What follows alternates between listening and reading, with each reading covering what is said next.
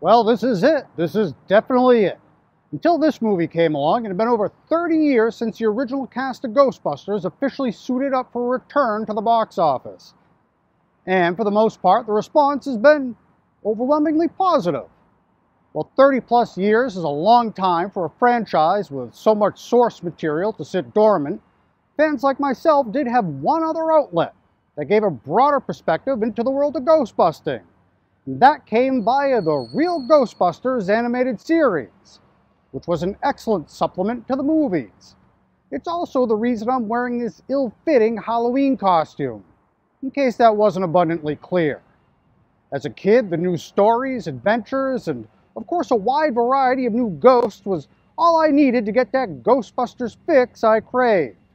With the success of the Real Ghostbusters series came a slew of merchandise, and of course a video game. So today, let's take a look at one of my all-time favorite arcade cabinet games, The Real Ghostbusters.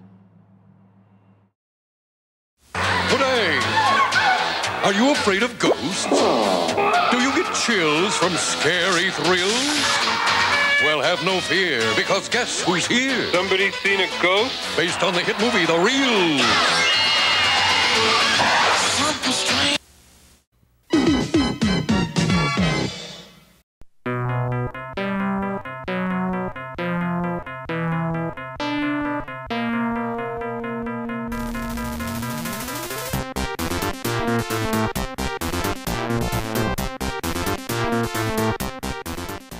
Capture the ghosts, collect the keys, save the city. That pretty much sums up this game, so I guess my work here is done.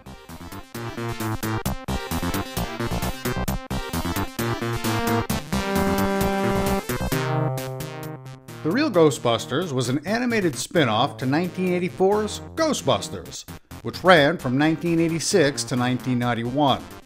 The show was titled The Real Ghostbusters due to a dispute with Filmation, who also had a property named Ghostbusters, which was a short lived live action sitcom from 1975 that later spawned a cartoon to capitalize on the name value of the 1984 movie, of which it had no relation to. Additionally, in the Real Ghostbusters episode, Take Two, where the Ghostbusters fly to Hollywood to visit the set of a movie based on their adventures, it's revealed that the movie the Ghostbusters were on set to visit and consult for was in fact the 1984 movie, establishing that the 1984 movie was based off the characters from the animated series.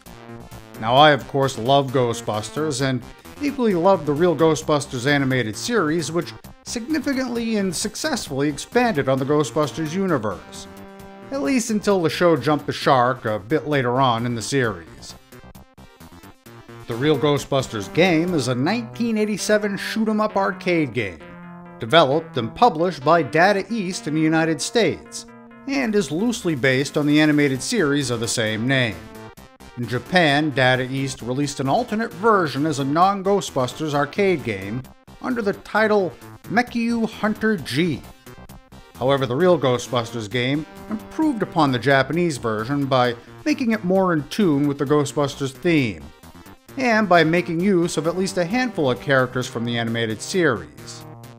In 1989, Activision published the real Ghostbusters for several home units, including the Amiga, the Atari ST, Commodore 64, and the ZX Spectrum. The arcade version features 10 levels, each viewed from an overhead perspective. The player controls a member of the Ghostbusters team who must defend against various ghosts while completing each level on a time limit. Ghosts are killed if the player shoots them, and the player can earn bonus points by trapping each ghost's soul, which is done by using a proton beam to suck in the ghost's ghost, which seems a bit redundant. I mean, who knew a ghost had a ghost? And if that's the case, where does it end? Does a ghost's ghost have a ghost? Are there a string of ghosts within a ghost, like some sort of supernatural Russian nesting doll? For the purposes of this game, these questions go unanswered, but inquiring minds want to know.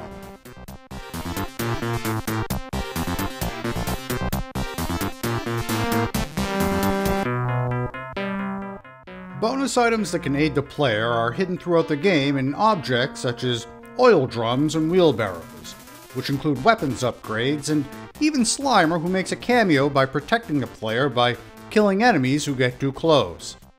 Now I'm playing this game on my sometimes glitchy, preloaded arcade game emulator, which can be a little hit or miss, and for whatever reason, some of the upgrades never took effect.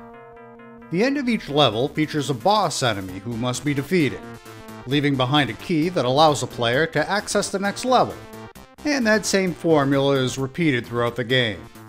Keep in mind, this was originally an arcade game and a bit of a quarter sucker at that. So while the gameplay never changes, the curiosity as to what came next was what kept you going. At least until you ran out of quarters. When this game came out, there weren't a lot of places I came across it. But I grew up in New Hampshire, which is also the home to the Guinness World Record holding world's largest arcade known as Fun Spot, located in New Hampshire's Lakes region. And they had everything. And for a place that had hundreds of arcade cabinets, this is the one I'd scour the building for. If you ever find yourself in central New Hampshire, be sure to check out Fun Spot, but just be prepared to part with all your quarters. The arcade cabinet version of this game accommodated three players, and at the time, with all the fast paced action and limited number of quarters I had to plug into the machine, I missed that some of the characters were actually pulled from the franchise. Initially, I didn't think anything had carried over from the animated series, but upon closer look years later, some of the very early ghosts from the animated series were, with quite a few being taken from the rarely seen Real Ghostbusters promo pilot. Characters lifted from the promo pilot included the Creepy Thing Ghost, the bow-tied elephant ghost, and the braided hair ghost. Additionally, the toy ghost from Season 1, Episode 1, Ghosts Are Us, appears in the game as a boss character, none of which I ever got far enough in the game back in the day to recognize.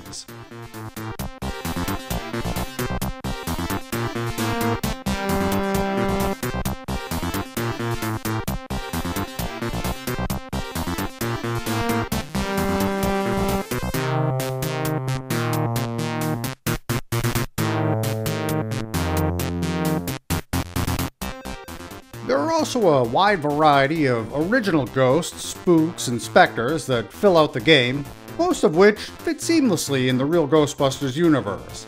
All except for maybe the cultier characters, which resemble extras from Mississippi Burning. But with the way things have been going lately, I'm just glad somebody's zapping these guys.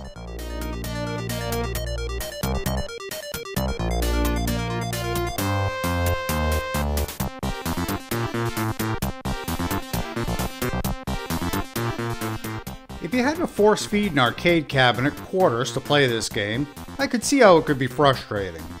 But in the versions where you're not required to spend all your laundry money, I think it's a fun game.